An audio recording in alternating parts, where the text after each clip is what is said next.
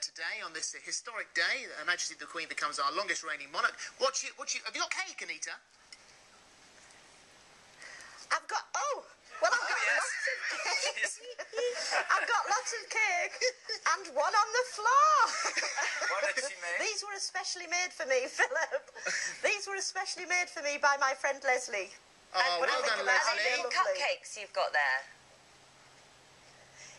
Yeah, they've got Union Jack toppers as well, edible ones. Let's have, a, Oh. let's, uh, is that, let's have a look for, on, And get red- that camera to zoom in on your cake so we can have a we can have a proper look. Let's uh, let's see what you've uh, what you've done. Oh, look, Ah, they they're look. lovely. Oh, oh, Look, oh, there you go. look, there you go. They Are you, are you doing that camera as well, Phil? Yeah. Oh, shut your face. What you saying? well done, Anita. Everyone And having a good day? Yes, everybody having a good day? Yes! Oh, good. Of Well, I think we should try a bit good of a. Great. Yep. Let's have a taste.